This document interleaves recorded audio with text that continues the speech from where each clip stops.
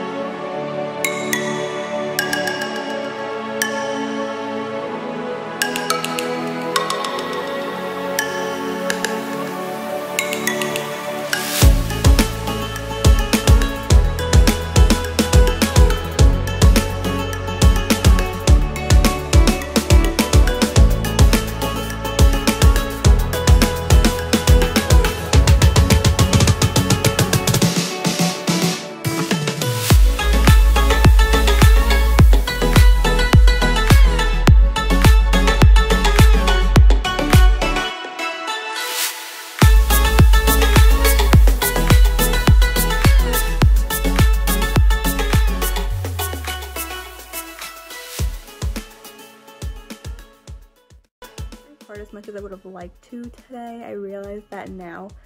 It was just really crazy busy. There were so many people. I was uh, trying to make decisions and stock up on supplies and I got animals. So it's just crazy.